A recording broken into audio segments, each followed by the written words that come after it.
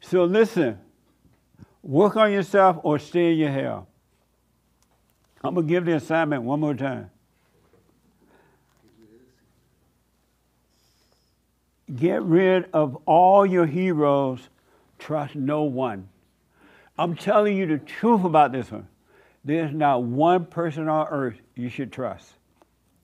No preacher, no deacon, no pope, no lawyer, no doctor, no psychiatrist, none of, that. Your mama, your daddy, your brother, your sister, your husband, your wife, your kids, your cat, your dog. Trust no one. Jesus said, Trust no man, the heart is wicked. And he wasn't playing. Trust no one. And if y'all had done your homework, we would have got deep into that today. But whatever. Here's the, uh, the biblical question Do you have morals and values? If so, where do they come from? Do you have morals and values? If so, where do they come from? The young lady in the back, do you have morals and values? I have no comments. You don't want to play? Let's play. You a sister? Do you have morals and values?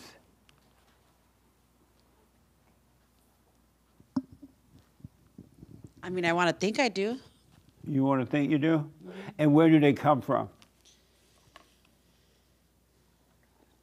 On what we were taught, um, my mother uh, hating me, and uh, you know, I was raised Catholic. Um, I didn't go to church. You know, I don't, uh, but I still feel it, um, and uh, I feel my conscience. You know, telling me what's right, what's wrong, kind of. Okay. Amazing.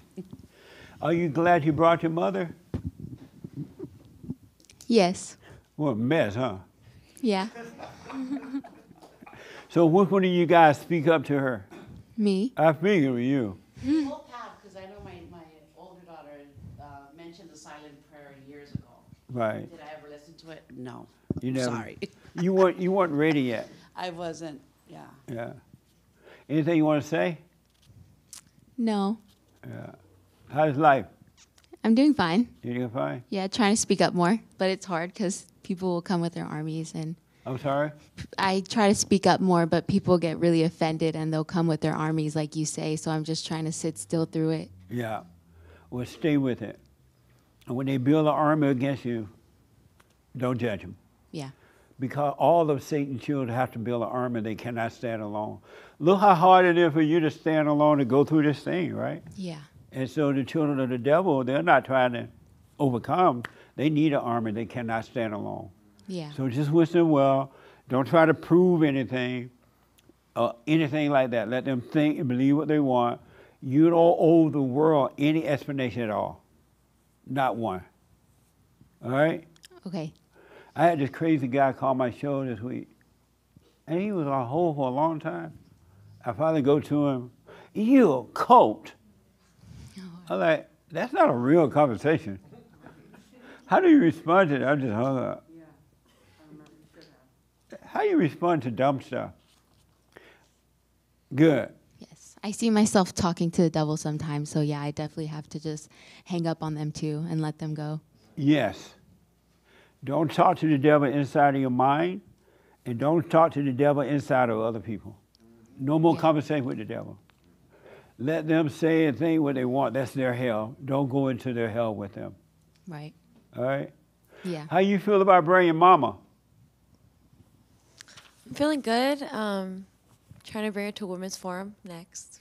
Oh, good. The women's forum this Thursday. Come this Thursday.